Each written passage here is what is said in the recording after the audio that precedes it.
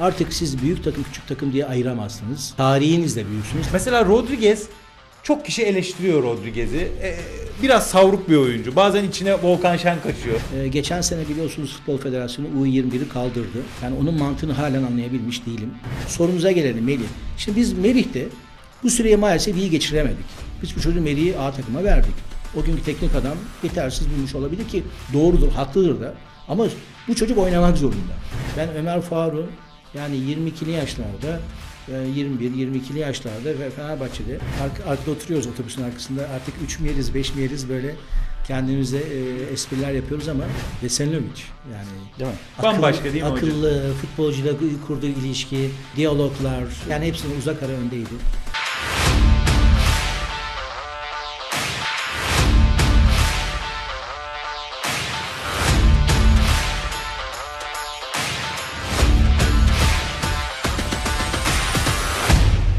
Sadece Fenerbahçe programına hoş geldiniz. Sevgili Alp'le beraberiz. Bugün çok özel bir konuğumuz var. Sevgili Şenol Çorlu, Büyük Şenol, e, Fenerbahçe kaptanı. Bizim jenerasyonun çok iyi tanıdığı, çok da çıplak gözle seyrettiği, Çok da sevdiği. çok da sevdiği kaptanımız. E, hoş geldiniz. Teşekkür ederim, hoş bulduk. Nasılsınız, iyisiniz? İyiyiz, iyi olmaya çalışıyoruz. E, Şenol Hocam biz burada e, Fenerbahçe maçlarını, e, lig maçını konuşarak başlıyoruz ama bugün çok özel bir konuk olduğumuz için biraz eskilere de gideceğiz. Tamam. E, isterseniz ilk başta Antep maçıyla başlayalım. Bir genel sezonu, bu takımı değerlendirelim. Ondan sonra da e, diğer konulara geçelim. Nasıl buluyorsunuz Fenerbahçe'yi? Evet, ilk önce teşekkür ediyorum. Biz teşekkür ederiz. Uzun bir aradan sonra böyle bir programa katılıyorum. Ee, onun için teşekkür ediyorum hepinize. Ee, Fenerbahçe'yi nasıl buluyorum? Yani sizlerden farklı bulmuyorum. Ee, biraz seyrederken ku- kuşkularım var. Ee, ama geçen seneye nazaran, yani özellikle yakın tarihiyle mukayese ettiğimiz zaman e, geçen seneden farklı. Ee, en azından daha istekli, daha arzulu e, bir e, takım izliyoruz. E, zaman zaman e, hatalar yapılıyor, yapılmıyor değil. En son işte Gaziantep maçında da her ne kadar 2-0 yensek de e, maçtan so- sonra maçı analiz ederseniz e, defansta bayağı ciddi bir e, boşluk verdiğimizi görürsünüz. E, artık Biraz orta sahada mı hocam? Ve orta saha defans bloğunda da özellikle iki tane stoperin e, duruşuna bakarsanız orada ne kadar hata yaptığımızı görürsünüz. Ama zaten e, Serdar'ın dışında diğer arkadaşımız e, orijin bir stoper değil. Onun zaman zaman e, oyun içerisinde böyle e, duruş anında e, problem yar- yaratacağını hesaba katmanız gerekir diye düşünüyorum. Çok da hata yaptı oynadığı maçlarda zaten. Ve Evet, e, tabii bir tercihdir. Artık ona da saygı duymak lazım. Bir şey söyleyemezsiniz ama e, artık e, yanılmıyorsam iki maçı oldu değil mi? Ya, ilk maç başladık. 16-17 tane maç var. Bundan sonra e, Sivas'ın da bu hafta e, Beşiktaş'ı İstanbul'da yendiğini hesaba katarsak e, Başakşehir'i de yendi. E, Galatasaray yendi. İşte e, Beşiktaş ki- koptu gibi. Bu hafta tam da koptu diyemeyiz çünkü Galatasaray'da ikisinin 30'ar puanı var. Galatasaray hesaba katarsak Beşiktaş'ı da hesaba katmamız gerekir. Ama e, bir Başakşehir kadar, bir Sivas kadar yakın değiller. E, artık son 17 maçı hesaba katarsak bu tip pozisyonları e, vermememiz gerekir. Olası bir e, e, aksi bir netice alırsak da bundan çok e, zarar görürüz diye düşünüyorum. Gerçi biraz da tam dediğiniz gibi biraz da farklı bir oyun düzeni, biraz daha defansif hani Tolga Ciğerci'nin bir kanatta oynadığı, Kruse'nin de forvet arkası yerine bir kanatta oynadığı, biraz daha hani deplasmanda daha defansif bir Fenerbahçe dizilişiyle Garantici. çıktı. Daha garantici hani gol yemeyelim e, dizilişiyle ve takımıyla çıkıp hatta ilk yarıda pozisyon vermedik, pozisyona da hiç giremedik ama hani biraz daha sağlamcı bir takım gibi oynamıyor mu şu anda Fenerbahçe? Yani şimdi pozisyonları, mevkileri tek tek analiz ederseniz tabii ki görürsünüz onu. Yani Tolga yani e, benim takip ettiğim kadarıyla işte Berlin'den tanıyorum ben. Ee, yani ideal bir 8 numara. Hadi plase 6 numarada oynatabilirsiniz. Ama kalkıp da sağ tarafta oynatırsanız bunun bir e, açıklayıcı bir daha izah tarzı olacaktır. Ee, bu da söylediğiniz yere varıyor ancak daha kapalı, daha defansa dönük bir takım. Sadece şeyde değil, sol, sola da bakarsanız öyle de görürsünüz. Ee, yani bu böyle yor- yorumlanabilir ama e, maçtan sonra maçın analizi yap- yaptığınız takdirde eğer e, maç öncesi düşüncelerinizi maç sonunda e, elde edememişseniz burada çok iyi bir e, çek etmek gerekir diye kontrol etmek gerekir diye düşünüyorum. Ama baktığınız zaman ben e, aynı- işte aynı kanıda değilim. Yani buna rağmen gene e, çok net rakip takıma pozisyon verdik. Bu ileriki haftalarda başımıza dert olabilir. Yani bunu bu, bu varsayımı hesaba katmak Bu gerekir. kadar baskı yememeliydik değil mi hocam? Yani büyük takım oyunu kontrol etmeli. Top bizde daha fazla kalmalıydı. Çok çok geldiler üzerimize. Özellikle maçın son bölümünde Evet. vermememiz lazımdı bu kadar pozisyon diye düşünüyorum. Hem orta sahamız oyundan düştü hem de uzun oynadıklarında stoper Ciloboji'yi ileri gönderdiler mesela.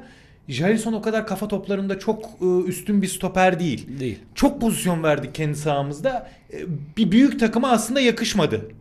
O kadar pozisyon vermek Şimdi bence.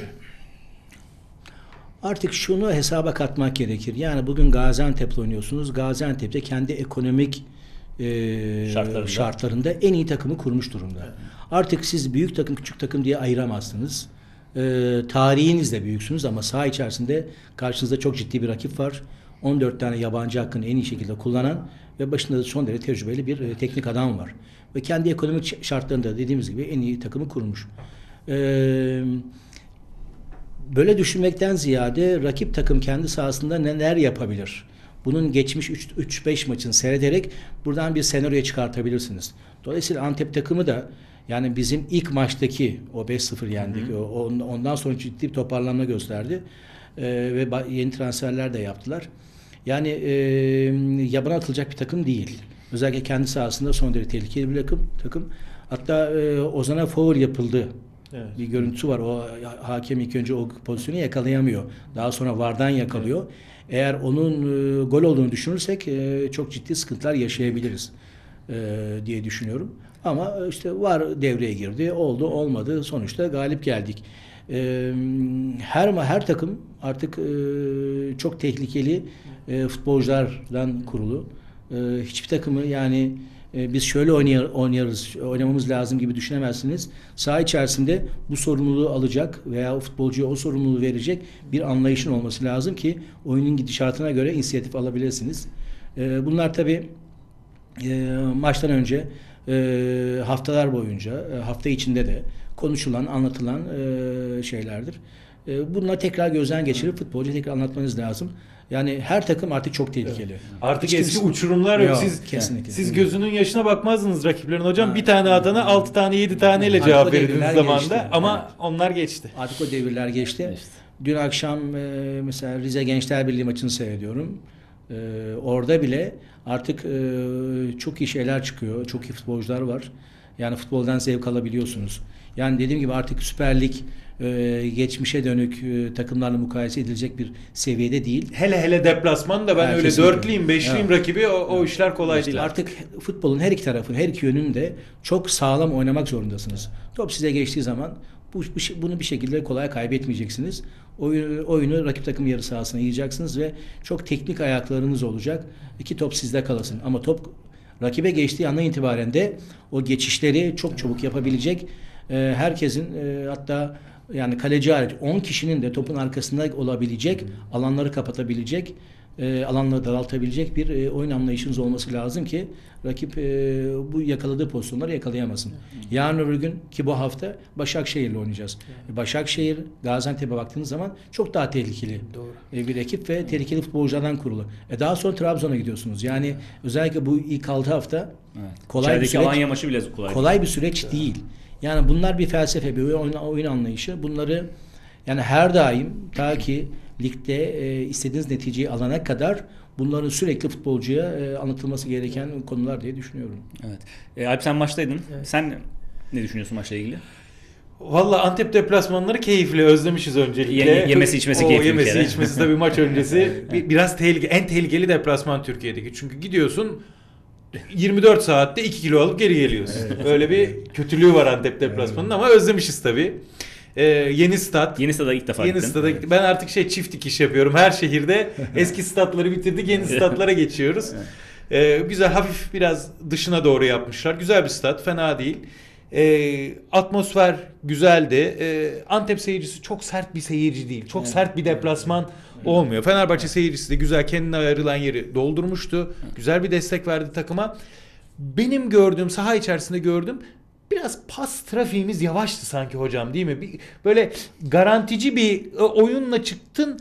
Bir de Yani bir pas te- trafiği tempo- yavaş olunca tempo e, sıkıntısı da evet. vardı, evet. Mesela Rodriguez çok kişi eleştiriyor Rodriguez'i. Ee, biraz savruk bir oyuncu. Bazen içine Volkan Şen kaçıyor. Son toplarda, son vuruşlarda Kaçırdığı sıkıntısı golle var. boş kaleye direğe vurdu. Ama girer girmez bir hareket getirdi oyuna. Bunu da kabul etmek lazım. Bizde olmayan oyuncu tipi şu evet, anda. işte o, o kendine has e, oyun anlayışından ve fiziksel olarak çabukluğundan faydalanıp o farkı yaratıyor. Pas trafiğine gelince de e, yani Şükrü Saracoğlu'nda Fenerbahçe'nin oynadığı o pas trafiğini deplasmanlarda pek beklememek lazım. Biz e, mukayese ederken Şükrü Saracoğlu'ndaki atmosferi veya pas trafiğini de deplasmanda bekliyoruz.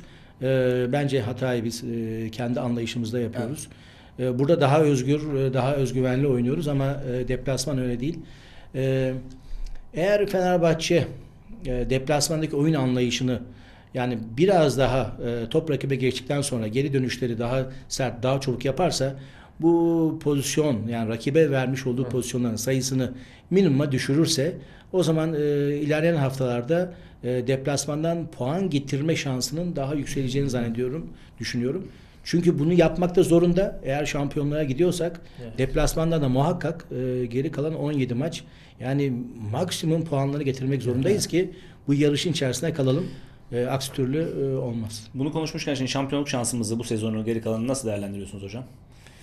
Takımı nasıl buluyorsunuz? Beğendiğiniz tarafları, beğenmediğiniz tarafları. Ya tabii ki var. Yani beğendiğimiz tarafı da var, beğenmediğimiz tarafı da var ama bunlar normal. Yani çok abartılacak bir şey değil. Ama e, bundan sonra artık oyundan e, ziyade e, netice Skor almak lazım, e, ön plana çıktığı haftalara doğru gidiyoruz. Onun için e, pozisyon vermemek, ön şart olmakla beraber gol yememek de çok önemli bir faktör. Eğer e, gol yerseniz tekrar toparlanması, öne geçmek zor oluyor. Evet. Yani orada Mudic dışında da baktığınız zaman öyle çok gol ayağınız da yok. Yok. Ee, yani sağınızda solunuzda hatta e, Alman neydi? Kruse- Kruse'nin de e, yanılmıyorsam 3 tane golü var. 3 golü var. Yani ne oluyor? 17, 18, 18 maçta kaba taslak söyleyeyim. 3 gol e, ofansı bir futbolcu için çok az. Biri de penaltı. Evet yani böyle sıkıntı yaşarsınız. Geriye düştüğünüz maçtan sonra tekrar toparlamak e, zor olabilir. Onun için ilk ilk düşünceniz e, bir an önce skoru e, bulmak, ha, ondan sonra oyununuzu geliştirmek, farkı yakalamak olmalı. Zaten şampiyonluk son virajda artık ikinci yarıda iyi savunma yapan, gol yemeyen takım ön plana çıkıyor değil mi hocam? Yani sizin o 88-89 sezonundaki takımı ayrı tutuyorum. O yese de atıyordu da. Evet. Yani onun dışında hep böyle defansı iyi yapan, yani Lucescu zamanı şampiyonlukları hatırlıyorum. Fatih Terim'le bile Galatasaray'ın son şampiyonlukları veya Fenerbahçe'de Aykut Hoca falan hep böyle bir e, gol yemediğin zaman daha hani son dönemde Ama şampiyonluklar yani galip gelerek maç kazanırsınız ama iyi savunma yaparsanız şampiyon olursunuz. evet. Ee, mümkün olduğu kadar az gol yiyip mümkün olduğu kadar fazla gol atmaya bakmak e, durumundasınız. Ee, sonuçta e, maçlar 90 dakika hatta şimdi dikkat, dikkatimi çeken bir şey var. Öyle uzatmalar oluyor ki yani neredeyse 45 dakika gibi oluyor. Evet, yani mi? 4 dakikalar, 6 dakikalar, 10 dakikalar falan. Yani dolayısıyla e, kaba taslak söyleyelim hani e, 100 dakikaya varan bir süreçte e, her an hata yapma şansınız var. Dolayısıyla eğer e, maç içerisinde o skor üstünlüğünü elde ge- geçiremezseniz yiyeceğiniz son dakikalarda yiyeceğiniz bir gol size çok ciddi zarar verir. zarar verir. Ee, hocam şimdi eskiye döneceğiz ama ondan önce şimdi bir siz altyapıda e, uzun yıllar çalıştınız. Evet, E, futbol bıraktıktan sonra Fenerbahçe'nin içindesiniz. E, bu altyapı konusunda çok konuşuluyor. E, burada sizin fikirleriniz çok değerli. Bir sizin fikirlerinizi almak istiyorum. Artı bir de hani taraftarın da çok merak ettiği bu Merih Demiral konusu var. Oraya da bağlayacağım. Yani Fenerbahçe genel Türk futbolunda altyapıdan oyuncu yetişmiyor diye bir laf var. Bu doğru mu? E, Merih Demiral'ı niye kaçırdık? Şimdi bu tabii böyle bir kanı var. Evet bu kanıyı yıkmak çok zor ama imkansız değil. İlk önce sistem üzerinde bir hemfikir olmamız lazım. Ee, geçen sene biliyorsunuz Futbol Federasyonu U21'i kaldırdı. Yani onun mantığını halen anlayabilmiş değilim. Neden? Neden? Ee, şu an 19'u kurdu. 19 ile A takım arasında ciddi bir boşluk var. Yani bir futbolcunun ben kendimden de biliyorum. Bir futbolcunun üstün performans gösterme yaşının 22'ler 23'ler olduğunu hesaba katar isek yani burada bir 3-4 yıllık bir e, boşluk var. Bu boşluğu maalesef Türkiye'de sistem gereği şu an dolduramıyoruz. Çocuk 19'a geliyor. Tamam 19'da oynadı. E, A takıma gidemiyor çünkü A takımda 14 tane yabancı var.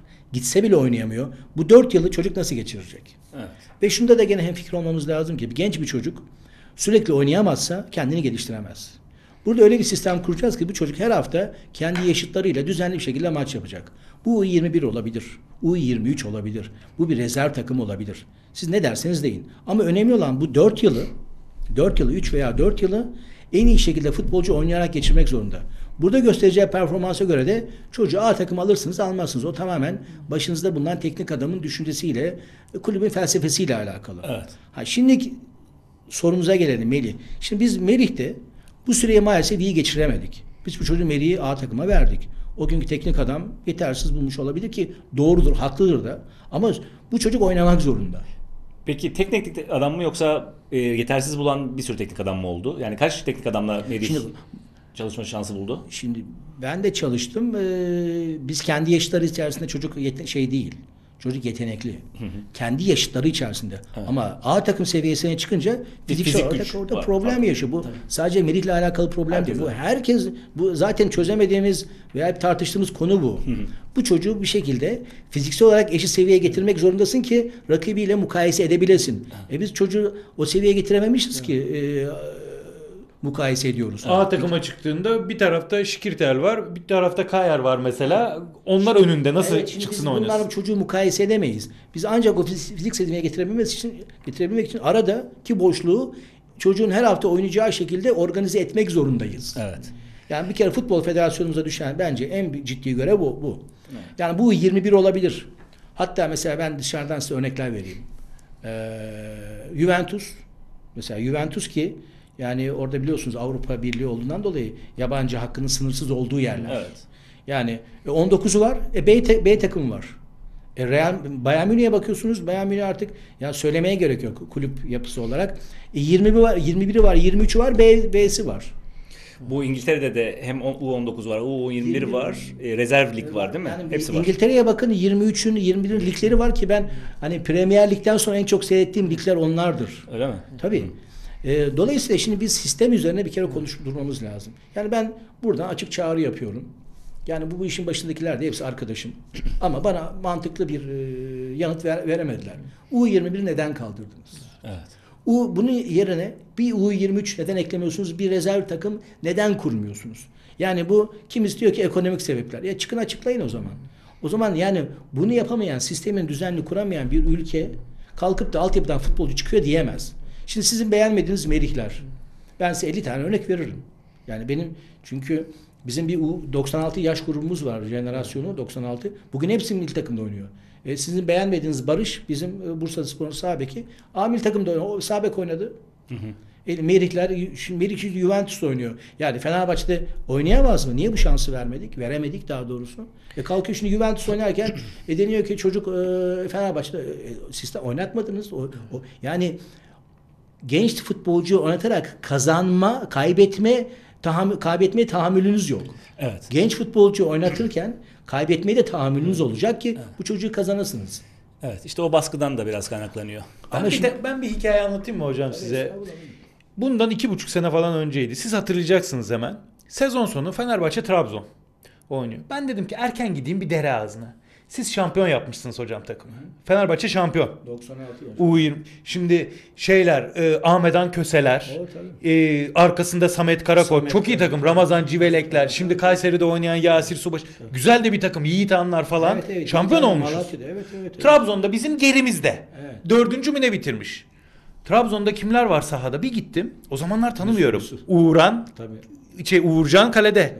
Abdülkadir oynuyor. tabii. Stoper Hüseyin oynuyor. Yusuf'u yeni oynatmaya başlamışlar Yusuf A takımda. Orada oynadı bize karşı. Bakın- burada oynamadı. Evet. Bakın bizim gerimizde siz getirmişsiniz, pişirmişsiniz yemeği. Şampiyon, evet. Bir şampiyon takım teslim etmişsiniz. Fakat o oyuncular A takımda oynayamadıkları için sağa sola dağıldılar şimdi. evet. Trabzonspor ekonomik sebeplerden dolayı oynatmak zorunda kaldı. O oyuncular A milli takım oyuncusu Bravo. oldu. Teşhisiniz çok doğru. Yani bazen ekonomik sebepler altyapıya yönelmenize, dikkat etmenize sebep oluyor ve oradan çıkan futbolcuya şans veriyorsunuz. İşte bunlar bu, bu- yani bu gör, şeyin e, durumun mu diyelim artık e, ürünü. Yoksa yani Trabzon'da maddi imkanları çok iyi olsaydı acaba döner miydi? Şimdi yani Türk futbolunun şu anki yani 2020'deki en büyük problemleri bugün herkes başkanımız televizyona çıkıp konuşuyor. anlatıyor ekonomik. Maddi. E diğer bütün Trabzon'un Galatasaray'ı çıkıyor. Yani ekonomik olarak şu an kulüplerimiz hep, hepsi konuşulacak durumda. Ama e, aynı zamanda da bir süreç devam ediyor. Yani bu takımlar sahaya çıkacaklar, maç yapacaklar, e, yarışın içinde olacaklar. E, futbolcu kaynağınız ekonomik sebepler yüzünden istediğiniz futbolcuyu alamıyorsunuz. Ve bir şekilde en kısa zamanda altyapıya gereken ilgi ve alakanın ama şunu da belirtmeden geçemeyeceğim. Kimse kusura bakmasın. Yani kamuoyunda konuşulduğu gibi değil. Bu iş çok başlı başına bir problem, başlı başına çözülmesi gereken bir, konuşulması gereken bir konu ve e, yani futbolda ileri seviyeye gitmiş ülkeleri e, çok iyi takip edilip kendimize göre, kendimize has bir e, sistemin yaratılması gereken bir yer burası. Ama bu işin olmazsa olmazı oyuncu oynayacak. Tabii mi? kesinlikle oynayacak. Yani- Bunu çocuğu oynatmak için işte sistemi onun için söylüyorum. Yani öyle bir sistem kuracaksınız ki bu çocuk 22 yaşına kadar her hafta düzenli bir şekilde oynayacak. Ha ondan sonra bakın bakalım bu çocuklar kendi yaş oynuyor mu oynamıyor mu? O zaman çok daha iyi mukayese edeceğiz. Ama siz, siz de kalkıp da yani 19 yaşındaki bir çocuktan bir kariyer, bir Skirtle'ın performansını beklerseniz ve bunlarla mukayese ederseniz o olmaz. Yani çocuğa haksızlık ediyoruz. Zaten bütün problem bu. Yoksa ama ne oldu şimdi oynuyor? E peki ne oldu yani? Kim kaybeden kim oldu? Kaybeden biz olduk. Türk futbolu oldu, kulüpler oldu. Peki hocam şu anda takip ediyorsunuz bizim U19 takımımızı Fenerbahçe'nin. Bir tane oyuncu A takıma vereyim diye bir hakkınız olsa. Kimi verirsiniz? Kimi beğeniyorsunuz şu anda takım içinde?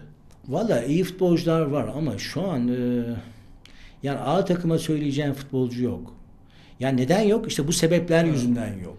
Yani eğer siz e, bizim sol ayaklı neydi onun ismini unuttum. Ömer Faruk Beyaz? Ömer Faruk. Yani Şu Ömer- anda U19'da bile zorlanıyor mesela yaş Evet. farkından dolayı. Ömer-. Ama çok Faruk- methedilen bir çocuk. Ne diyorsunuz o çocuk e, için? yani olacak. Biraz kol koordinasyonu biraz e, şu an yetersiz. Kuvvetlenmesi mi Evet, lazım zaman hocam? içerisinde işte bunlar hep böyle oynayarak zaman içerisinde kapatılması gereken konular. Ee, futbol bilgisini arttırmak zorunda. Bu da yaşayarak öğrenecek. Tabii bunun bunu yaşayarak öğrenecek derken teknik adamlar olarak yani bizler de bizlere düşen görevler de e, mevcut teknolojiyi kullanarak bu çocukların en iyi şekilde futbol bilgisini arttırmak zorundayız. Yani bu tabii bir süreç. Bu süreci de ona verirsek ben Ömer Faruk'un yani 22'li yaşlarda yani 21-22'li yaşlarda ve Fenerbahçe'de iyi bir alternatif olacağını A takımda ve zaman yerde bulursa e, iyi bir futbolcu kazanacağını düşünüyorum. Ama dediğim gibi bu süreci ona vereceğiz yani. Evet. Muhammed'i nasıl buluyorsunuz hocam? Muhammed de farklı bir oyuncu. Ee, Türkiye Kupası maçında bir oynattılar. Güzel bir asist yaptı. Ben U19 maçlarında da seyrediyorum. Bir Beşiktaş maçında 3-3'lük 3 tane gol birden atmıştı. Çok süratli, çizgiye inme özelliği olan, şutu olan farklı bir oyuncu. Yani şimdi hiçbirisine kötü futbolcu diyemeyiz. Bir kere şunu literatürümüzden çıkarmamız lazım. Yani ben kesinlikle karşıyım. Yani e, özellikle Fenerbahçe U19 e, seviyesine gelmiş. Hiçbir futbolcuya ben kötü futbolcu demem. Bir özelliği var ki oraya Tabii, gelmiş. hiç hiçbir futbolcu da yani bu takımda oynar veya oynayamaz gözüyle de bakmam. Önemli olan onun gelişim sürecini çok iyi yakinen takip etmeniz lazım. Şimdi Muhammed de o tarz futbolculardan bir tanesi. Eğer gerekli ilgi ve alakayı gösterirseniz, oynama şansı verirseniz tabii ama bununla beraber bakın e, eğer yapabilirseniz o da çok önemli bir konu. Akademik eğitimini, akademik eğitimini e, ve teknik eğitimini düzenli verdiğiniz takdirde ben bu çocukların e, muhakkak bir yerlerde top oynayacağına inanıyorum. Yani geri dönüp bakın. Hani belki e, Fenerbahçe A takımını oynatma şansı bulamadık. Ama hepsi bir yerde oynuyor ve bugün Türk futboluna hizmet ediyorlar. Yani isimler önemli değil. Onlara vereceğimiz şans önemli olan. esas. Hem şans ama şimdi bir kere yani şeyde e, sistem konusunda hem fikir olmamız gereken e, bir konu. Yani biz e, bir sandalyenin bir bacağı eksik e, haldeyken yorum yapıyoruz. Ben buna karşıyım. İlk önce bir sistemimizi dört dörtlük yapalım. Bakalım ondan sonra çocuk çıkıyor mu çıkmıyor mu? Yani atıyorum 5 Almanya'da şimdi 5 milyon yakın Türk çıkıyor, yaşıyor. E oradan bir e, Çıkıyor da. e, Mözel çıkıyor İTSE'de. Ya niye bir Yunus Mallar çıkıyor? Ya Türkiye'den 80 milyon. Hadi bunu diyelim 40'ı yaşlı. e, Yani bir 20 milyon genç vardır herhalde. Yok mudur ya? 15 milyon vardır. Yok mudur? Ya 15 milyondan çıkmıyor da 5 milyondan nasıl çıkıyor? Anlatabiliyor muyum? E şimdi orada baktığınız zaman Yani bu geçişler başka bir takımda çocuğun oynama gibi bir lüksü yok. Yani muhakkak kendine bir çeki düzen veren bir öyle veya böyle ekonomik e, problemi halletmiş kulüplerle gidiyor, oynuyorlar. Ve süre buluyorlar. Ahmet Hepimiz- Kutucu dediğiniz adam Schalke'de 19 yaşında Evet. birincilikte forma Yani şansı buluyor. biz, e, ve- evet. Almanya'da genç futbolcuya o şans veriyor. Çünkü teknik adam şunun bilincinde yani kamuoyu da bilinçte. Teknik adam şey, genç futbolcudan doğacak her türlü neticeyi ben kabul ediyorum diyor. Kaybetsek de ona saygı duyuyor. Ka- ka- Yani ben Salih neydi bizim? Uçan, Uçan. Salih Uçan işte size biraz önce anlattım. Bir burada Ankara maçı oynattık. Bir geri pası verdi. E, gol yedik. yedik. Ertesi gün gaz, bir gazete manşet böyle işte gençlerle olmuyor. Yani siz bu fikirle yaklaşırsanız gençler olmaz. Çünkü o yaşta çocuk bunu baskıdan, stresten kurtulamaz. Yönetmeyi bilemez. Anladın? Yani burada bu hoşgörü hani kamuoyunda kamuoyunda söylem olarak bu gö- hoşgörüye sahibiz ama kaybettiğimiz zaman bu hoşgörüyü göstermiyoruz. Göstermiyoruz kesin. Peki biraz eskilere dönelim mi artık? Ee, hocam şimdi siz 84-85 sezonunda e, geldiniz ve şampiyon olduğumuz sezon. Senin Evet. o iyi takip ettiğin sezon. Benim Evet. yaşım Be- artık benim- ben daha benim 9 ilk yaşındayım. maçlara sürekli gitmeye başladığım sezon 84-85'te geldiğine göre 23 yaşında bir oyuncu Evet, olarak evet. geliyor aslında. E, gen, tam hani biraz önce dediniz ya tam böyle Tam olduğu zaman. Tam olma zamanı futbolcunun. Şimdi şöyle e, bizim zamanımızda tabii e, futbol bilgisi e, bu kadar çok üst düzeyde değildi. Yani biz problemi adeta kendimiz çözüyorduk. E, şimdi ben 22-23 yaşlarda Fenerbahçe'ye geldim. E, müthiş bir kadro var. Rahmetli Selçuk var.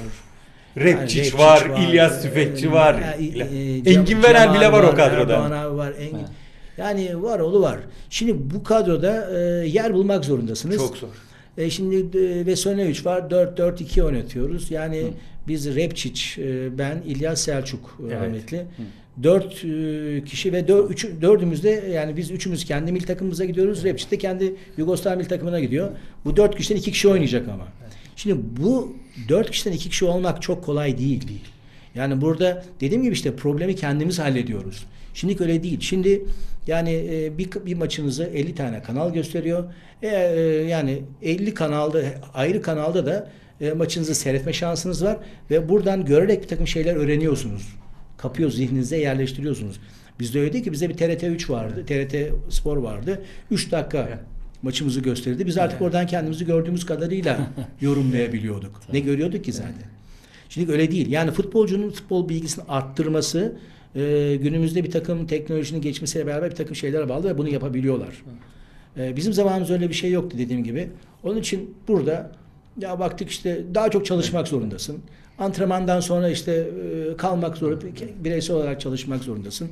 Çünkü yani hakikaten çok iyi futbolcular var. Şimdi hocam o saydığınız futbolcular o kadar büyük futbolcular ki şimdi Selçuk Yula dediğiniz o zamanın süperstarı bana göre. İlyas Tüfekçi bambaşka bir oyuncu yani Repçiç.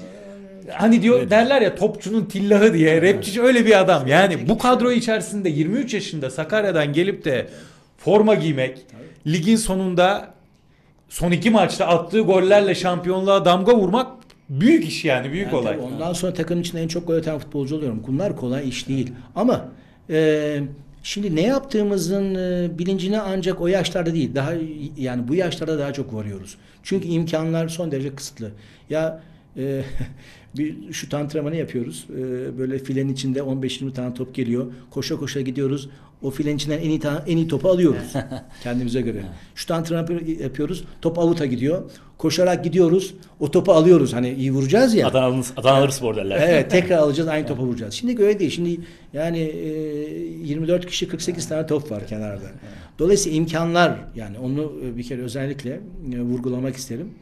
E, tabii şimdi tabii özel televizyonlar e, işte şimdi YouTube'lar var.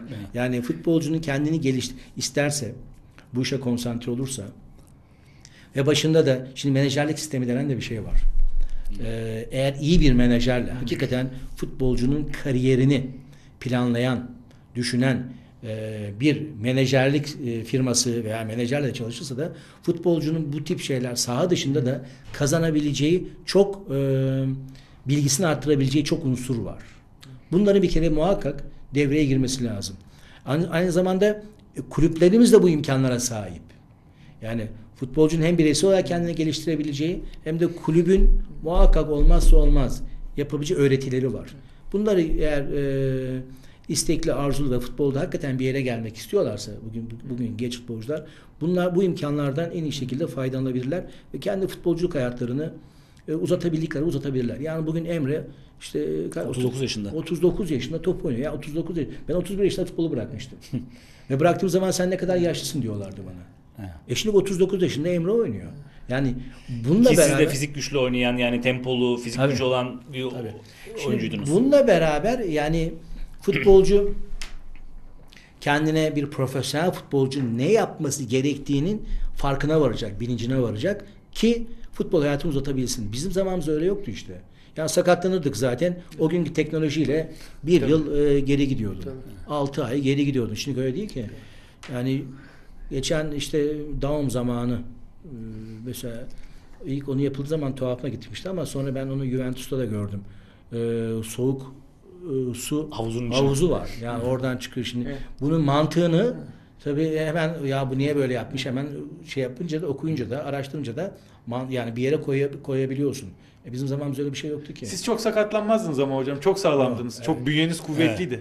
Ben e, yapı olarak e, yani e, biraz daha mazbut bir futbolcuydum. E, ne yapılması gerektiğini yani problemi kendim çözüyordum. İyi yaşadım diyorsun. Evet. Yani antrenmandan sonra istirahat ederdim, yatardım, ya eve gider yatardım. Yani o dönemi biliyorum, hatırlıyorum. E, Sakarya'da da öyleydi, orada da öyleydi. Öyle bir oyun şeyin, e, hayat felsefem, disiplin vardı. Ve hatta halen yani futbolu bırakalı çok oldu artık. O hala o disiplinle yaşıyorum. Yani zaman zaman kendi aile çevremde bile eleştiriliyorum yani ama bu iş böyle yani bu bir e, artık yaşam şekli. Peki o sezon şampiyonlukla bitti. Ertesi sezonda benim ilk hatırladığım Fenerbahçe Bordo. Bizim çocukluğumuzun Fenerbahçe zaferlerinden bir başlıcası Bordo zaferidir. Ee, radyodan dinlemiştim ben de. Ee, o maçta golünüz de vardı hocam. Evet. Deplasmandaki maçta. Evet. Rahmetli Hüseyin Çakıroğlu'nun da golü vardı. Evet, Ee, orada- diğer gol de Selçuk Yulay'dı değil mi ilk gol? Bir kere tabii yani o maç e, yani Fenerbahçe futbol tarihinin önemli maçlarından bir tanesi. Müthiş bir takım değil mi Çünkü- Bordo? Evet. Fransa milli takımı gibi takım. Adeta. Adeta öyle. Fransa milli takımı da 84 Avrupa şampiyonu bu arada. Evet 84 ha, bravo. Siz benden çok daha iyi biliyorsunuz. Ee, şimdi e, bir kere yani baş, şeye başlamadan önce e, o maçta 3 gol attık. İki, iki arkadaşım da rahmetli oldu. Onları Evet. bir kere Analım. rahmetli anmadan geçemem. Her zaman da bunu söylüyorum. Onu bir görev olarak atlettim. Ee, yani evet 84 Avrupa şampiyonu olan bir Bordo karşısında biz maça gidiyoruz. Ee, gene rahmetli Erdoğan abi onu da e, kulak yani Allah rahmet eylesin. Ee, arka, arkada oturuyoruz otobüsün arkasında. Artık 3 mü yeriz, 5 mi yeriz böyle kendimize e, espriler yapıyoruz ama o gün saha içerisinde hakikaten çok güzel bir elektrik oldu, atmosfer oldu. Zaten çok da güzel bir stat. Yani bu, bu şeyi yaşadık, e, bu heyecanı yaşadık. Ee, onların stoperi bana maçı yani Selçuk'la ikimizi gösterip siz diyordu Avrupa'nın en iyi fut- e, forvetisiniz diyordu bize. O, o, Batisto mu söyledi? Evet. Yani e, hakikaten öyleydik yani çok iyiydik. Ama tabii işte e, sürekli bu tip ortamlarda bulunmadığımız için de böyle saman elevi gibi oldu. Ondan sonra Göteborg çıktı ki Evet. Bordo ile Göteborg'u kıyasladığın zaman Evet. e, çok farklı bir futbol kültürü ama sonuçta Kuzey Avrupa. E, daha çok fiziksel oyun gücün ön planda olduğu bir e, futbol. Ama anlayışı. oradaki Göteborg'daki maçta bir Doğu Alman hakem çıkmıştı. Siegfried Kirchen. iki tane kırmızı kart Evet, var. 4-0'a orada. gidiyor maç. Almanak, yani Almanak gibidir. Her şeyi hatırlar Fenerbahçe ile ilgili yani o, o olmasa her şey olabilirdi. Sonra buradaki Yani maçta biz gençleri bir oynattık. maçtan Yükselleri falan oynattık. 2-1 Bir de yenmiştik. maçtan önce böyle bir e, havaalanında polis polis bir, bir- bayağı bir olaylar Evet. olmuştu. Hatta soymuşlardı sizi falan donla kalmıştınız falan hatırlıyorum öyle bir şeyler. Ya şimdi bunlar tabii o zaman için olan şeyler ama e, şunu söylemek istiyorum. O tip atmosferlere çok uzak uzak bir yıllarımızdı. Yani e, ben gene Fenerbahçe'de yaşadım. Yani e, Çarşamba Avrupa Kupası, e, Pazar Lig maçı, Çarşamba tekrar Avrupa Kupası maçı, lig maçı, kupa maçı. Yani bir ara bir ara öyle bir seri yakalamıştık ki yani e, haftada 5 tane ma- şeyde e, böyle 10 günde 5 tane maç yapıyorduk. Şimdi günümüz futbolcusu o artık o şeye a, alışık. Biz öyle alışık değildik. Yani ben şimdi bugün Premier Ligi seyrediyorum. Premier Lig'de oynayan futbolcu özellikle üst düzeyde yani çarşamba kupa maçı oynuyor. İşte pazar lig maçını oynuyor. Pazartesi bir tane daha lig maçı oynuyor. Çarşamba gidiyor. Yani o kadar maç yapıyor ki. Şimdi bu tempoya alışan bir bünye. Vücuttan bahsediyoruz. E kendine bakmak zorunda. Futbol anlayışını geliştirmek zorunda. Ve rekabetin içinde olmak zorunda. Biz yani bizden sonraki jenerasyonlar bu böyle sık e, maç yapabilir duruma geldi. Dolayısıyla onların tabii e, çok ciddi avantajı olur. Peki hocam çok merak ettiğim bir şey var. Şimdi o 88-89 kadrosu, yetenek dolu kadroyu, sizin kadronuzu bir gözünüzün önüne getirin. Evet. Bir de bugünün kadrosunu getirin. Bugün daha yardımlaşmalı, fizik güçlü bir kadro. Böyle bir imkanımız yok ama ikisini birbiriyle maç yaptırın. Kim kazanır? Bana sanki 88-89 kadrosu ezip geçer gibi geliyor. Fizik güç olarak çok daha düşük Yok, olmasına yoksa rağmen. tam tersi futbol artık çok değişti. Kaleye gidemez 88-89 kadrosu der misiniz? Onu derim. Yani Onu dersiniz. sizin söylediğinizi söylerim. Şimdi şöyle günümüz futbolu çok daha hızlı. Çok daha tempolu. Ee, e, artık e, 11 kişinin e, 7-8'i iyi oynadığı takdirde artık problemi çözemiyorsunuz. Ama bizim zamanımızda öyle değil. 11'in Evet. yani İki tanesi iyi oynar. 6-7 tanesi iyi oynasın problemi çözebiliyorduk. Şimdi öyle değil. Şimdi yani bir kişinin bile yani 11 kişinin içerisinde bir kişinin bile eğer görevini yerine getirememesi demek orada bir karşı takımda size ciddi bir problem Bütün o yaratır. dişli bozuluyor diyorsun. Peki Takım buradan- anlayışı ön planda ama bununla beraber fizik gücünün çok iyi olması lazım. Teknik kapasiteniz de çok iyi olması lazım. Bir de hep söylüyorum oyun bilginiz de çok üst düzeyde olması lazım. Biz e, yani bizim zamanımızda biz problemi kendimiz çözüyorduk. Peki buradan bir soru soracağım size hocam. Çok güncel bir soru. 11'in bir tanesinin bile o dişlinin bozuk olmaması lazım diyorsunuz. Bugün Fenerbahçe'nin gündeminde sol bek konusu var. Hemen 89-90 sezonuna gideceğim. 89-90 sezonu Fenerbahçe'de Büyük Şenol'un, Şenol Çorlu'nun orta saha oyuncusuna evrilip Fenerbahçe'nin en çok gol atan oyuncusu olduğu bir sezon. Çok iyi hatırlarsınız hocam. Küçük Şenol, Şenol Usta Ömer. Sizden de büyüktür aslında ama Küçük Şenol diyoruz. Küçük Şenol sakatlanıyor. Çaprazları kopartıyor ve biz Santfor Erdi Demir'den sol bek yaratıyoruz. Veselinov çocuğumuz. Yani şöyle düşünün. Hadi Vedat Muriç de Santfor, Vedat Muriç tipinde değil Erdi Demir ama Mevlüt Erdinç'ten sol bek yaratmak gibi bir şey yapıyoruz o zaman. Ve o şekilde idare ediyorsunuz siz bütün sezonu. Fakat Peki- şu anda Dirar sol bek Fenerbahçe'de ve dişliler bozulmuş gibi. İşte o, hep bunu söylüyorum. Yani o gün için o problemi çözüyorsunuz. Çünkü orada bir problem yaşasanız bile bu taraftan birisi çıkıyor. Diğerleri hallediyor işi. Yani ben mesela Eskişehir maçının için sen söylediğin için hemen Eskişehir maçı gözümün önüne geldi. Biz e, 2-0 mağlup duruma düştük. Ya gülüyorduk sadece. Ama diyorduk. 7-2 bitti maç. Çünkü biliyoruz ki biliyoruz ki oradan birisi çıkacak. Rıdvan'a, Hasan'a, Aykut'a çıkacak işi bitirecek. İşi bitirecek. Şimdi ama şimdi öyle değil. Şimdi bakın çok güzel bir yere değindiniz. Dirar sol bek oynuyor ki ben Dirar'la e, kadro harcı kaldığı dönemde çalıştım. Yani Dirar kadar profesyonel futbolcu, kendine iyi bakan ve çok çalışan futbolcu görmedim. evet. Ama buna rağmen sol bek onun için bekleneni veremiyor. Yani bu kötü olduğu için mi? Hayır. Burada sol bekten beklentiniz farklı. Artık günümüz futbolu onu gerektiriyor. Hem iyi savunma yapacak hem, hem iyi, iyi hücum yapacak. Bu iki şey faktörü birleştiremezseniz zaten burada ta- tatmin olmuyorsunuz. Dirar bu durumda. Yoksa Dirar yani güçlü mü? Güçlü. Bugün benim diyen futbolcuyla yan yana getirdim vallahi. Aynı, aynı şeyi söyleyecektim. Yani, Dirar'ı çok eleştirdiler Dirar tarafından. Ben Dirar'ı Yok, beğenen yok, taraftayım. yok, yok. Yani Dirar bana diyorlar ki antrenmanda biriyle çarpışırız ama adam yerden kalkamıyor diyorlar. Yani çok kuvvetli, Anormal müthiş. kuvvetli ve çok iyi çalışan bir çocuk. Evet. Yani orada haksızlık ediyoruz. Evet. Ama tabii mevcut şartları konuşuyoruz. Orada e, Hasan Ali Kaldırım veya Caner'den sonra Hasan Ali Kaldırım yani orada daha henüz kafalarda e, bir iyi bir sol bek e, yerleştiremedik, oturtamadık. Onun sıkıntısını yaşıyor Fenerbahçe. O zaman Ersun hocamızı da zaman zaman eleştiriyoruz. Biraz haksızlık mı ediyoruz? Çünkü bu sırf sol bekteki sıkıntımız bile Ersun hocanın bütün sistemini sekteye uğratıyor Peki ama aslında. ben de bir şey söyleyeceğim. Bir tane sol bek e, genç takımdan veya başka bir sol bekle bu işi çözemez misin? İlla Dirar'a ihtiyacın var mı? Şimdi beklentiniz nedir? İlk önce onu konuşalım. Beklentimiz bu sene şampiyon olmak. Başka hiçbir Ha, şimdi beklentimiz yok takım hocam. halinde olur veya olmaz. Şimdi onu söylemek onu söylemek istemiyorum. Yani sol bekten beklentiniz ne? Evet. Şimdi eğer yani Ümit Özat örneğini de verecek olursak yani sağ ayakla bu iş götüren hani buradan bir problem yaşamayalım. Ya hücumda çok düşünmüyorum. Ben sağdan götürürüm gibi böyle bir anlayış sahipseniz oraya kim koyar? Beni de koyun ben de oynarım. Ama beklentiniz çok e, üst tempo. E, soldan işte 10 tane ortaya Çizgiye yapacak, kadar inecek. inecek, bekini kovacak, gelecek falan. İşte böyle beklen artık orada yani e, Hasan şey, Hasan bile çözemez yani. Orada Caner'den bile çok daha iyi bir Aynı sol bek bulmak zorundasınız. Şimdi bir de sizin seviyeniz yani eee Şimdi sizin seviyeniz şöyle. Yani bu sene şampiyon olamazsanız artık bunu kaldıracak güç- gücümüz yok. Maddi gücümüz de yok. Manevi de yok. Manevi de yok. Şimdi bu sene bir şekilde şampiyon olmak zorundayız. Dolayısıyla yani o seviye artık e, sadece o mevki değil. Her mevki o kadar önemli ki. E, Her mevkinin en iyi adamını koymak zorundasınız. Şimdi Ersun Hoca'yı bir teknik adam. Yani zaman zaman eleştirilir, zaman zaman eleştirilmez. Yani bu artık teknik adamların e, yaşantısı ve eleştirilmeyen teknik adam yok.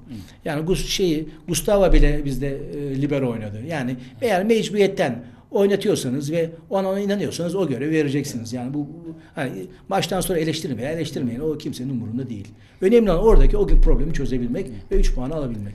Eğer bunu yapıyorsanız artık sezon biter. Ondan sonra takımı sahaya masaya yatırırsınız. Nereye ne alınacak? Onun hesabını o zaman yapacaksınız. Aynen şimdi ben e, hocam sevindim böyle konuştuğu için çünkü ben Hasan Ali'yi biliyorsun. Evet. Beğenmeyen taraftayım ve Hasan Ali'yi beğenmiyorum diye geçen sene falan Allah senin beğenmediğin Hasan Ali'yi gördüm. Şimdi Fenerbahçe'nin sol beki Hasan Ali çok iyi niyetli hiç lafım yok yani adamı seviyorum da bu arada. Çok geçen seneki performansından da şapka çıkartıyor ama ben Fenerbahçe sol bekinden e, hucumda da bir katkı bekliyorum. E, güzel ortalar bekliyorum. Sıfıra inmesini bekliyorum. Biraz daha sert mücadele ne bileyim biz şimdi Roberto Carlos'u seyrettik. Andre Santos'u seyrettik. E, bilmiyorum. Vederson da mesela fena bir İşte Abdullah. Ercanları Abdullah seyrettin. Ercanları seyrettik. Usta Ömerleri seyrettin. Şimdi şöyle bir kere şöyle söyleyelim. Bakın. Yanlış Ya- mı düşünüyorum? Ee, yok doğru Yani düşünüyorsunuz ideal da. Fenerbahçe sol beki sizin kafanızda Bir de ben yani konuya şöyle başlayayım. Müsaade ederseniz. Estağfurullah. Ee, Fenerbahçe forması hiçbir futbolcuya ben kötü futbolcu demem. Hepsine de çok saygı duyuyorum. Hepsi de benim kardeşimdir. İnşallah çok çok iyi yerlere gelirler. Ama tabii e, şimdi hani sorunuza gelelim. Beklentilerimiz çok farklı. Yani beklentimiz artık e, bu sene e, ama tabii bu senenin planlaması sezon başı yapılır. Evet.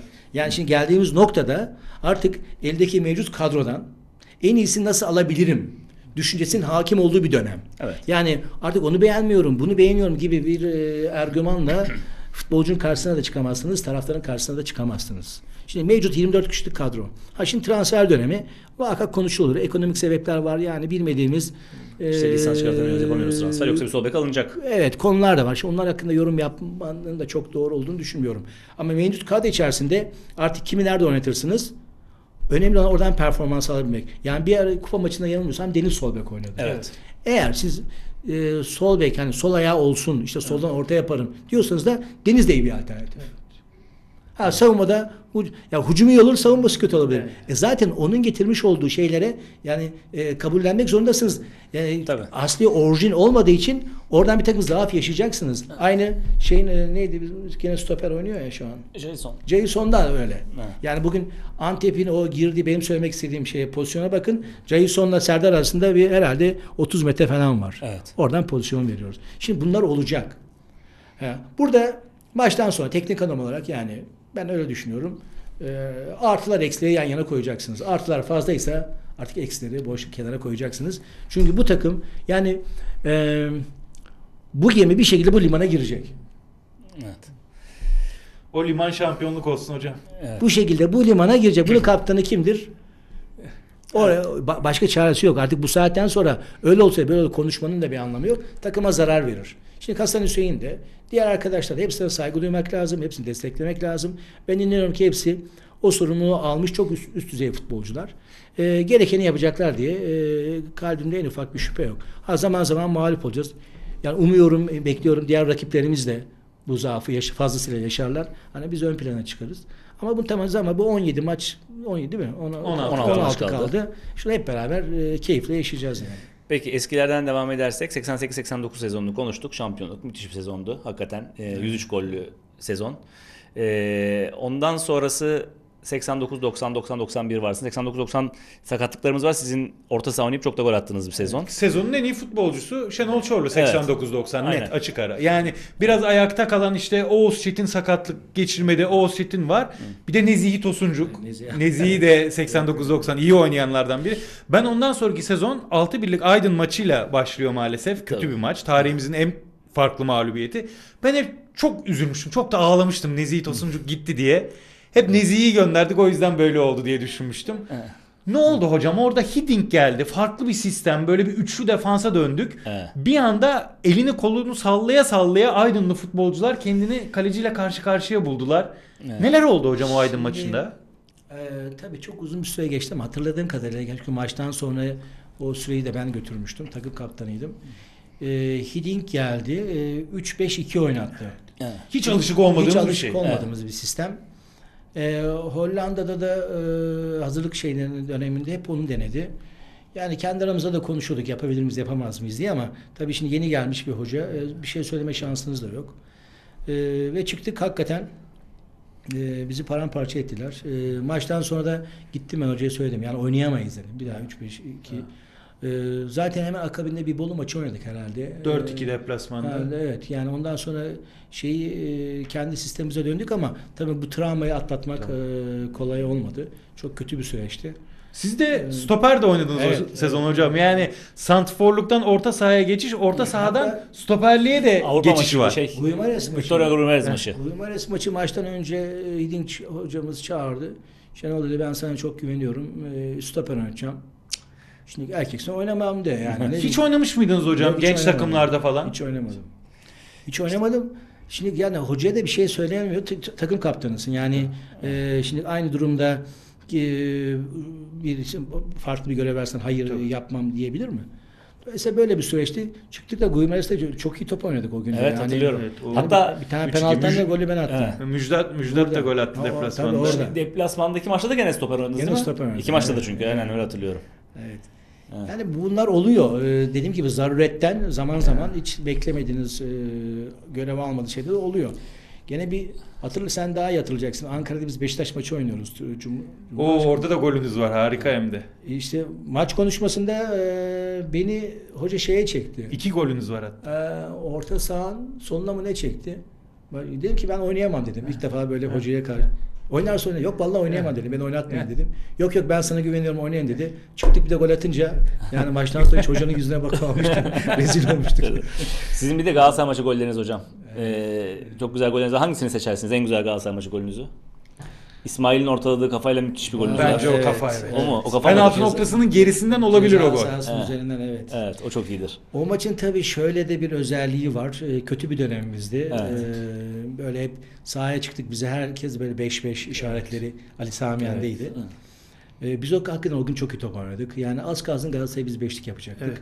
Yapamadık. Evet. İle satmıştı onların golünü. Evet. bizim golü de ben attım. Evet e, güzel bir goldü. Ondan sonra başka e, başbakan Ya şimdi şey kafa golü deyince zaten Şenol hocam yani darbeli kafa vurma deyince Evet, evet öyleydi. Şenol Çorlu'nun çok golü var öyle. Yani Evet, e, Karşıyaka burada Karşıyaka yapmış. maçı, ligin ilk maçı değil mi? Sarıyer'e bir Ha. tane var, müthiş. Evet, o, evet sen daha iyi hatırlıyorsun. Sarıyer maçında bir de frikiğiniz var. O Evet. lamba gibi 90'a o da müthiş maçtır yani. yani Şireka maçında rahmetli Yılmaz Yetürk. Ee, İlk maçımız. evet ilk maç yani işte Allah Dört rahmet maç eylesin. dayanabildi Eskişehir maçından Evet sonra. yani O kadar şey- kötü hoca mıydı? Nasıl? Çok kötü hoca mıydı? Yok yok yok. Değil, o değil? Almanya'da eğitimini almış son derece iyi bir hocaydı da. Bize hiç şey yani burada kendini ifade edemedi. Ee, yoksa e, çok yani hakikaten bu işin çok eğitimini fazlasıyla almış bir Sizin çalıştığınız en iyi hoca diyebileceğiniz hani en iyi der misiniz bilmiyorum ama hakikaten çok şey kaptı. Çok değişik. Mesela şimdi Hiddink çok başarısı oldu ama Hiddink kötü hoca der Dünya misiniz? çapında bir adam. Dünya Herkes çapında. tanıyor. Valla ben şöyle söyleyeyim. Ben ondan da şey yani ben de şimdi antrenörlük yapmaya çalışıyoruz işte. Ee, ondan çok feyiz aldık.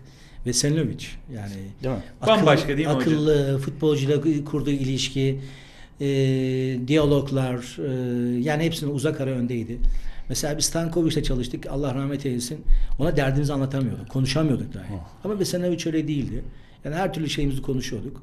Yani işte biraz önce saydık yani 4-4-2 oynuyoruz. 4 e, hep milli takımda oynuyoruz. Repçiç, İlyas, ben Selçuk Selçuk- siz. Yani buradan iki kişi oynayacak. Ee, gelir derdi ki maçtan önce ya çocuk derdi bu boş verdi çok koşuyor derdi çok gol atıyor derdi hem tam prim derdi. Şimdi hoca böyle yaklaştıktan sonra bir şey diyemezsin. Gönlünü yani. aldı. Evet. O çok önemli. Zaten hocalıkta Sonra- en önemli şeylerden biri o tabii değil mi? giderdi derdi Selçuk Ağlar ya da işte ya bırak bu Şenol oynasın bu çok gol atıyor işte koşuyor koşuyor bırak sen o tam prim. Ya bir gün bir bakıyoruz oturuyoruz ama anın sebebini bilmiyoruz. Ama kimse de böyle birbirine böyle şeylik duymuyor. Bir art niyet düşünme şansın yok. Çünkü hoca sana o kadar güzel yaklaşıyor ki. Tam prim alıyorsun. e, Biliyorsun ki ertesi maçı oynayacaksın. Yani böyle ne arkadaşına ne takıma ne hocaya bir küskünlük yaşamıyorsun. Ama yani derdimizi anlatamadığımız hocalarla da çalıştık. Ya konuşacaksın konuşturmuyor. Yani bir problemini anlatacaksın. Genç adamsın. Problemini çözemiyorsun. E, e, hafta sonu 40 bin kişinin önüne çıkıyorsun. Anlatabiliyor muyum? E şimdi bu problemi dediğim gibi yani kendi kendimize çözüyorduk. Konuşacak kimse bulamıyorduk yani. Peki o dönemle ilgili bir de milli takıma değinmek istiyorum. İngiltere maçları. Siz e, Evet, o evet, 8-0'lık, evet. 5-0'lık maçlarda hep Evet, sahadaydınız. evet, evet. Çok komik anılar var o dönemden biliyorum. Hani sizin de başınızdan geçen komik bir anınız, o dönemle İşte- ilgili anlatmak istediğiniz bir şey. Tabii aslında onları size Yaşar abiyle Abdülkerim anlatsın. Onların Ee, müthiş hikayeleri var, değil mi? Evet orada.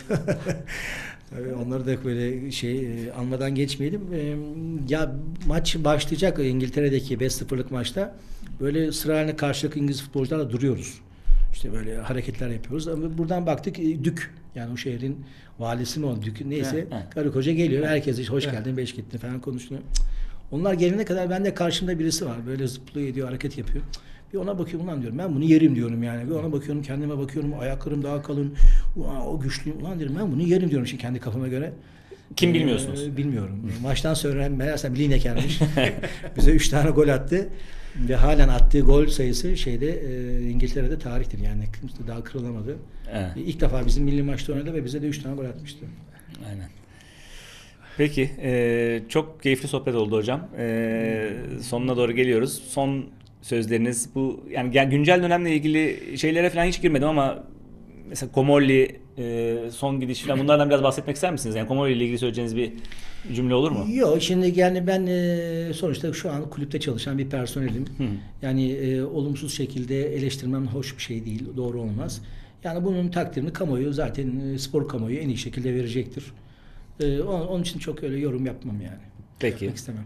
Peki hocam güncel olaylarla alakalı bu ara şeyi konuşuyoruz hep. Yani Fenerbahçe'nin e, bir sıkıntılardan geçtiğini konuşuyoruz. Fenerbahçe'ye karşı olan işte MHK ile ilgili, federasyonla ilgili, işte e, medya ile ilgili Fenerbahçe'nin çok üzerine gelindiğini konuşuyoruz ve haklı bir isyanı var Fenerbahçe taraftarının. Size bir şey anlatayım çok kısa. Antep'te tribüne gittim. Bir arkadaş geldi. Genç bir arkadaş. Ona da buradan selam olsun. Sadece Fenerbahçe'yi izliyorum. İnternetten Bizim takip programı. ediyorum dedi. Evet, bizim Oo. programı takip ediyormuş. Maraşlı genç bir arkadaşımız. Abi dedi ben dedi üniversite imtihanına gireceğim bu sene dedi. Hukuk okumak istiyorum dedi. Fenerbahçe'ye karşı yapılan haksızlıkların hesabını sormak istiyorum dedi. Böyle bir isyanı var Fenerbahçelilerin. 3 Temmuz geldi, üzerimizden geçti. Yani hiç kimsenin yaşamadığı şeyleri yaşadık. Fenerbahçe'nin otobüsü kurşunlandı bu ülkede. Ee, şu anda hala çok ciddi sıkıntılarla uğraşıyoruz. Fenerbahçe'ye belli medya kuruluşları bakın dün başkanımız da bunu dile getirdi. Ee, nasıl davranmamız lazım? Bu süreçten nasıl çıkmamız lazım? Çok zor, çok hassas konular bunlar biliyorum. Bu konularla ilgili konuşmak da kolay iş değil. Ee, fakat siz de camianın çok uzun sü- süre içinde olan, şu anki yönetimden daha uzun süredir içinde olan, belki de şu anda en fazla, en uzun süredir camianın içinde olan kişisiniz. Nasıl davranmamız lazım Yani hocam? Bence çok basit. Yani Fenerbahçe olmak için onun için bunun için zor. Fenerbahçe olmak onun için onun için ayrıcalıklı.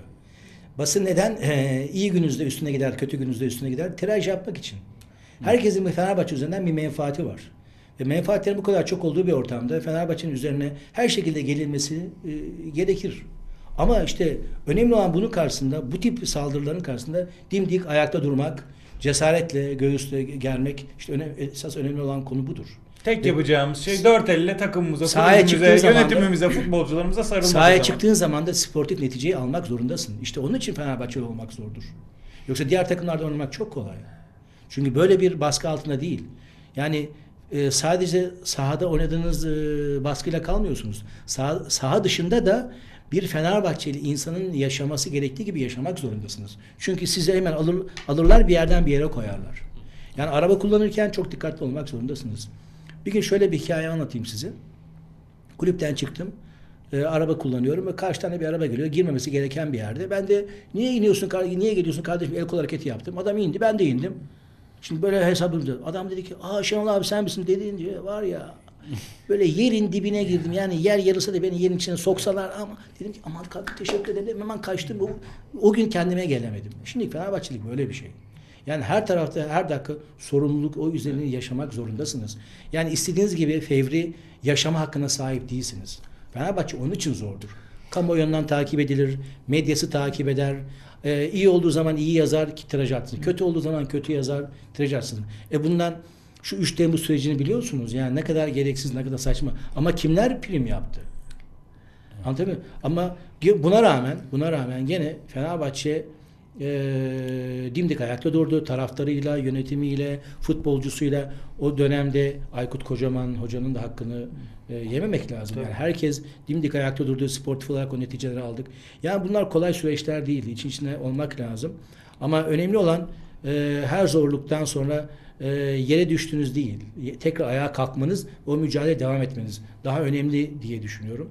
Fenerbahçe de bunu yapıyor. Tabii ki bu zorlukla karşılaşacak. Ama her zaman, her daim bu zorlukların üzerinden taraftarıyla, yönetimiyle, futbolcusuyla gelebilecek e, durumda. Çünkü bizim içimizde var bu. Yani kanımızda var bu. Kimse onun için Fenerbahçe bayrağını böyle kolay kolay yere atamaz yani. Hocam çok teşekkür ediyoruz. Ben teşekkür Ee, ağzınıza sağlık. Ee, bir gün de sizi inşallah bu altyapı ile ilgili her e, zaman, bir her zaman, her e, programa bekleyeceğiz. Orada çok değerli fikirleriniz var. Onları da kamuoyuyla paylaşırsanız çok her memnun olacağız. her zaman.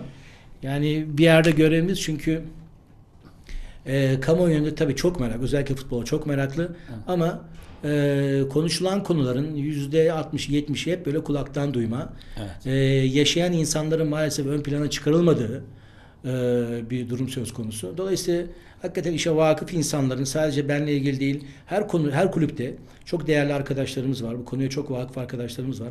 Onlara da söz hakkı verilirse veya bir güzel ort- bir ortak platforma yatırılırsa herkes kendi fikrini söyler. Umuyorum ki bunlar yani konuşmaların sonunda Türk futboluna fayda getirir. Bunu da yapan arkadaşlar uygular ve bir yere varırız diye düşünüyorum. Yani eğer yapıldığı takdirde bu iyi olur. Peki çok teşekkür ederiz. Ben teşekkür ederim. Konuğumuz e, sevgili Fenerbahçe'nin efsane kaptanlarından sevgili Büyükşen oldu. E, teşekkür ederiz bizi izlediğiniz için.